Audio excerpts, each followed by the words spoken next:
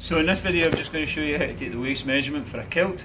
Now Tim here's wearing shorts because it makes it easier to see where the middle of the knee is. You don't have to wear shorts but it does make it a bit easier. Um, now the thing is with the waist measurement it's taken a wee bit higher than your trouser waist measurement. so rather than your trouser waist it's taken around the belly button. So if Tim could point to his belly button, okay, we're going to take a tape measure and take a firm measurement round that waist measurement there. So on Tim it's about a 35 inch waist. Generally Tim would maybe wear 34 in his trousers or his shorts, but obviously it's a wee bit higher, it's about a 35.